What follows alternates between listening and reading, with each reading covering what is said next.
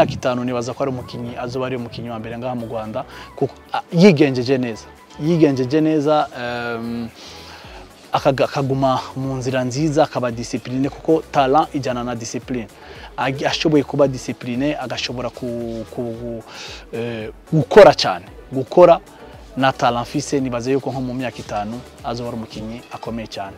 Ni umwe mu bakinnyi b'umupira w'amaguru mu rwanda batanga icyizere kugeza ubu. Abareyo bamwita Messi. Stade yose abareyo bahaguruka. Pascal messi pascal. Oh yes oh yes pascal. Messi messi. Fantastic. Nababwiye ngo hano hari ishanyarazi ry'umwana. Nababwiye ngo hano hari ishanyarazi. Uyu mwana ntago abaho uyu mwana ntago abaho Pierre yamubonye umunsi umwe gusa amusuhuza ikiganza kimwe kiri hejuru y'ikindi aramubwira ngo welcome master. Ese Messi ni umureyo? Cyane narayifonaga cyane narajyaga no kuri stade kureba mace hagati ibi bintu nanjye ngomba gukora cyane nkazabizamo. Abarezi bamurera n'abanyeshuri bigana ni we cyizere cyabo. Ni ukuvuga ngo iyo tumufite rero abana baba bazi ko bafite mesi wabo bamwita mesi ngo ngo azi kugakina neza kandi koko natwe nigeze kureba ko uburyo akina agakina neza. Ubwo rero atugirira akamaro. Iyo twamutwa yagiye mu ikipe yacu aba ahagarariye ikigo cyacu. Bikaduhesha ishema. Iradukunda pascal yavutse tariki ya makumyabiri na gatandatu mata bibiri na gatanu. Gusa avuka yisanze agomba kurerwa na nyirakuru atari uko yabuze nyina cyangwa se. Pascal abana abana na mukecuru we ubyara mama we kuko ni we nyine wandeze ni we nakuze mbana nawe ntabwo navuga muri make ntabwo nagize amahirwe yo kubana n'ababyeyi banjye bambyaye. Ngewe nakuze numva ko nyine ni nyeforomyemo ko ibibazo bigomba kumbaho ari ababyeyi banjye babiteye. Gusa nje kuganira nabo numvisha uburyo bari bameze n'uburyo byari bimeze. Nasanze nyine nta kosa bafite muri ibyo ngibyo. Numva ko nyine ibibazo byavutse atari bo babiteye nabo ba- byaje uko nguko nyine. Pascal mwene nzayisenga joseph na mukagasana jeanne amashuri abanza yayize kacyiru ayisumbuye ubu ari kwiga muri gs kacyiru. Aha ni ho pascal yiga. Gusa uyu Messi ajya kuhatangira mu wa mbere ntibyari byoroshye. Urabizi iyo umuntu avuye mu wa gatandatu pirimeri agiye kujya mu wa mbere segonderi bisaba amafaranga yo gutangira yo kugura inifomu ntabwo byari byoroshye cyane kuko na mama na mukecuru kuko nkunda kumwita mama kuko ni we wandeze. Ntabwo yari afite ubwo bushobozi bwo ku- kunangiza ku- muri iryo shuri. Ariko naje kugera kubera nyine impano y'umupira nari mfite hari umugabo wari ufite umushinga afite ekipe. Mukecuru aragenda aramuvugisha aramfasha mbasha kugenda neza nyine. Uwo mugabo aranyishyurira aranangiza kugeza mu wa kabiri segonderi mu wa gatatu ntangira kwishyurirwa n'undi muntu watozaga muri santire yacu bitaga kerema anyishyurira ishuri mu guhera mu wa gatatu. Mu wa kane nanjye nangira kwishyura mu mafaranga ubu ngubu rero ibasha kumpa ni umunyeshuri mwiza. Ahuza ishuri n'umupira w'amaguru. Iri ni ryo shuri yigamo. Aho umunyamakuru wa radio tv 10 yicaranye na pascal mu ishuri bari kwiga isomo ry'ikinyarwanda. Yicara imbere kandi abakurikiye. Twari turi ku isomo ryacu rivuga amoko y'iki? Y'amagambo. Ariko by'umwihariko dutinda kuri iri tsinda rya kabiri twavuze ngo ni iry'amagambo agira gute? Amagambo adahinduka sibyo ese pascal utarakinnye muri akademi ya Rayon ntakinire jiniriyo ryayo yayisinyiye ate ese yaba yarabaye umukinnyi wa Rayon Sport gute? Hari umukoca nyine ah, muri santere nakoragamo ikorera hano muri etegisirwa yaje kuvugana na pakisiyawo barandikirana. Amusaba ko yaza gusura santire ye. Pakisiyawo aramubwira ati nta kibazo ku wa kane naza. Kuca bimenye gutyo ko ku wa kane pakisiyawo azaza araza asaba ubuyobozi ikigo ubuyobozi buramubwira ati ntabwo twakima abo bana amahirwe. Niba ari iby'umugisha ubwo abazabigiramo umugisha bazagende nyine. Uruhushya ntabwo twarukwima ndibuka hari nka saa kumi twaratashye nyine kuko abenshi dukinana muri ako kademi ntabwo twigaga ku kigo kimwe bamwe baturukaga aha abandi aha. Dutashye twari abana batanu tuvuye hano ngaha tugezeyo dusanga banatangiye imyitozo. Barimo barakina njye nambaye huti huti mvuga ati kanjyemo wabona agiye no gutaha atambonye uburyo nyine agasanga ibyanjye wenda birangiriye aha. Ndambara koca duhita dutoranywa dukina ikibuga cyose. Nakoze kuri baro rimwe cya kabiri niba nibuka neza bakisa bababwiye uwo mutoza ati uyu mwana reka nshakemo abandi kuwa kane kuwa- kabiri. Bazaze muri tize muri reyo. Abimbwiye eh numva ni ibintu nyine kuri njye birenze kumva ko ngiye gukorana n'abo ba piyero abakinnyi bakuru nyine ndagati eh ibi bintu nzabibasha. Gusa nyine nishyiramo akanyabwanda hagati ibyo nari nsanzwe nyina n'ubundi reka ari byo nkomeza wabona bigi- bigenze neza ukabona ngo muri reyo kuko ntabwo natekerezaga ko nahita njya muri iyo reyo nkuru. Numvaga ko nahita wenda njya mu kademi kayo. Ndagataha kuko byagenda kose ngomba gukora neza bakambona. Naragiye nkora umwitozo wa mbere ugenda neza nkora uwa kabiri ugenda neza. Turi butahe turi gutaha numva coach Pax yabwiye wa mukoci wanjye kuko nawe twajyanaga aramubwira ati kuwa gatandatu dufite match uyu mwana uzamuzana ubwo- ubwo navuga ko ariyo match ya mbere nari ngiye gukinana n'abakinnyi ba Rayon nyine ko twari dusanzwe dukorana imyitozo. Njyamo ndakina bigenda neza. Match irangiye Pierre aravuga ati araza aranyegera arambaza ati ubuyobozi mwavuganye bw'ikipe hagati wapu ntabwo turavugana gusa nyine ndimo ndabyumva ko dushaka kuzavugana.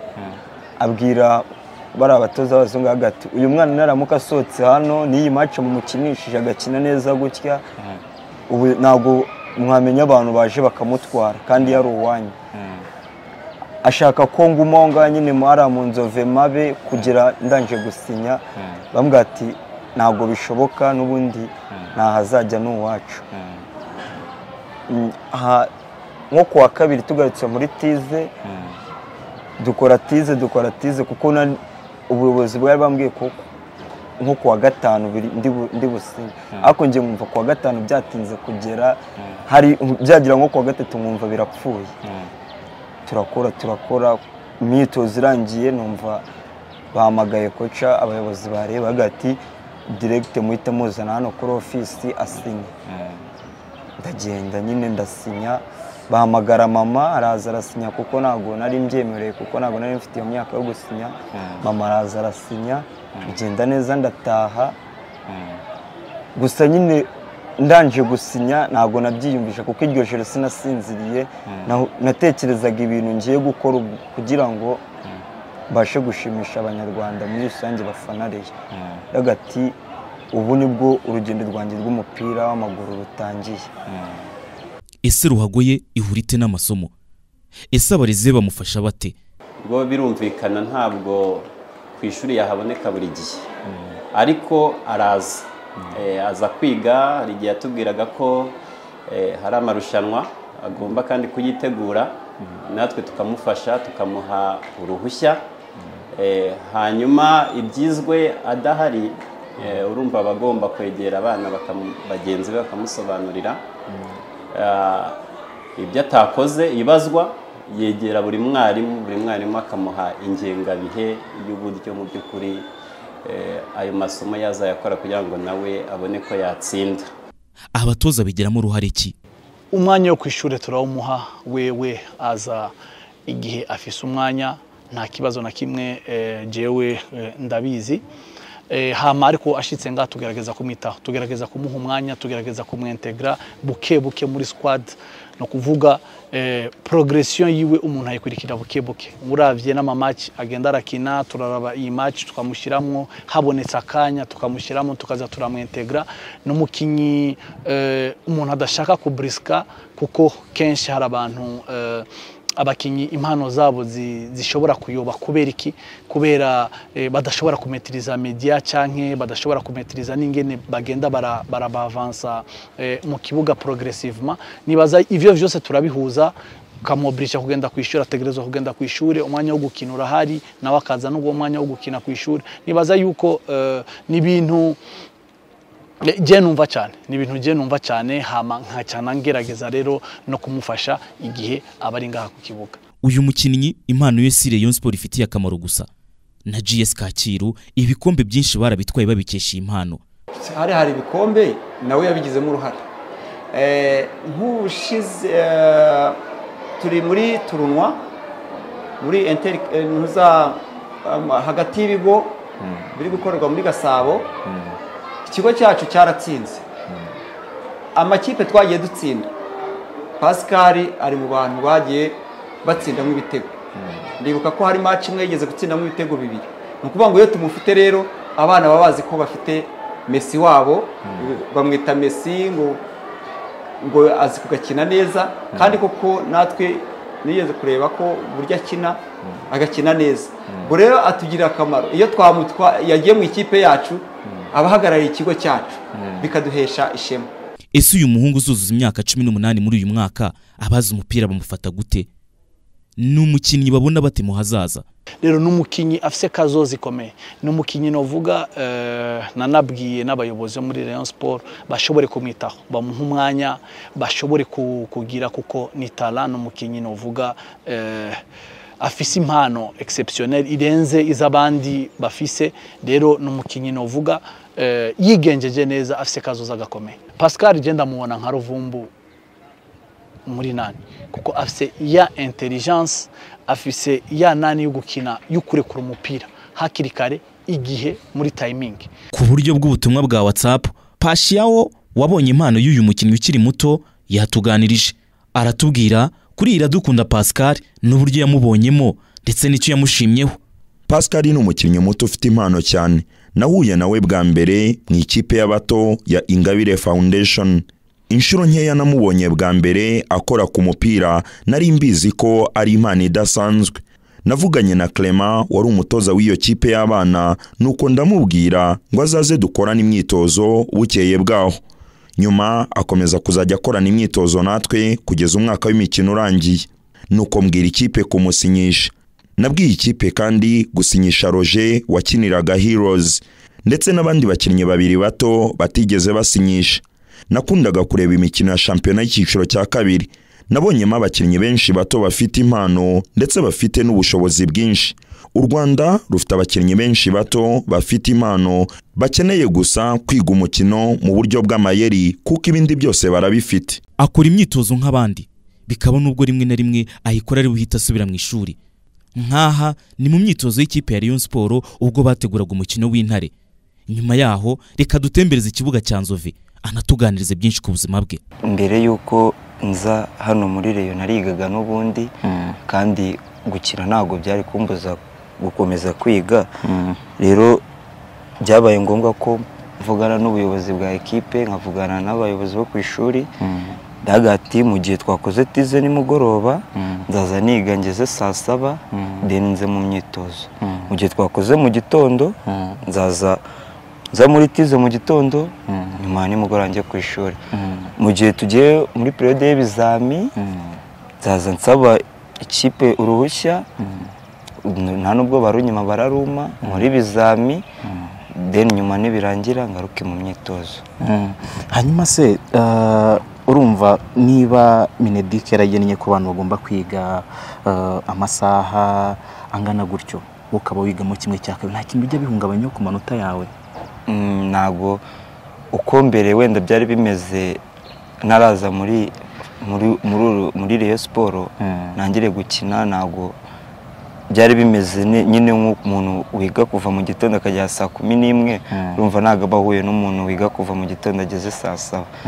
Ariko ntabwo byahungabanyeho cyane kuko bi- biri mu nyine byagabanutseho gatoya.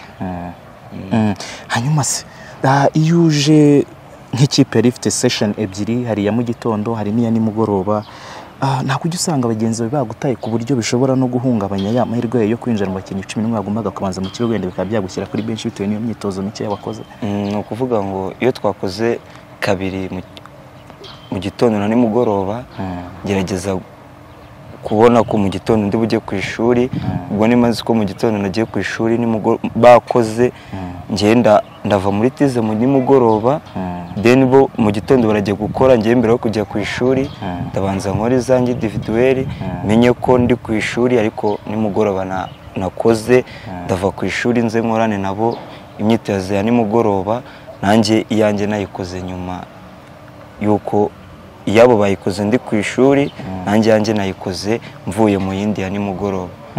Hanyuma se ah, iki kibuga cya nzove turiho muri rusange ukinana n'abakinnyi ba Rayon Sport bamwe bagiye banakina umupira ubafana.